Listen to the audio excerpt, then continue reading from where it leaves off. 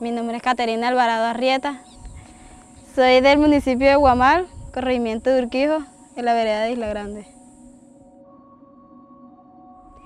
Eh, siempre he dicho que voy a estudiar la carrera porque en Urquijo el centro de salud no funciona.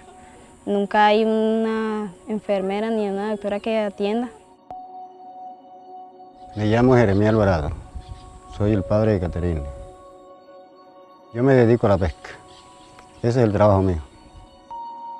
Me dijeron que ya se había, ganado beca, pues para mí fue un orgullo, a mí fue eso muy grande. Uno tan pobre. Aquí hay un colegio, pero este colegio ya no funciona, por lo que los profesores no, no, no, se, no querían transportarse desde otros lugares hasta acá.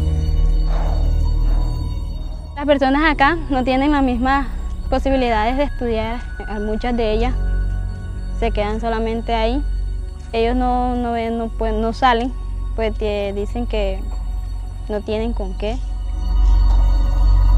Pues para mí eso sería muy grande y muy bonito, que llegan a llegar allá a ser grande y, y a mejorar el modo de vivir.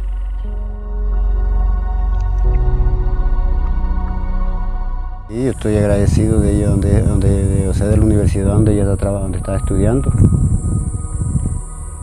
que me le han prestado ayuda y esas cosas, porque yo no, las fuerzas mías no alcanzan para, para llevarla a ella donde se lo merece.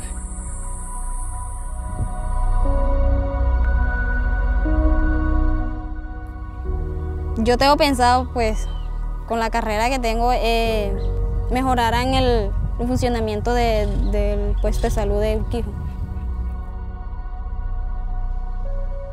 Pues yo quisiera salir del país, especialización y seguir estudiando. Si, si, no, si el programa no fuera funcionado, pues no estaría, no estaría en la universidad. Quizás de pronto estaría estudiando en un instituto o quizás me fuera ido a trabajar pero no estaría estudiando en la universidad.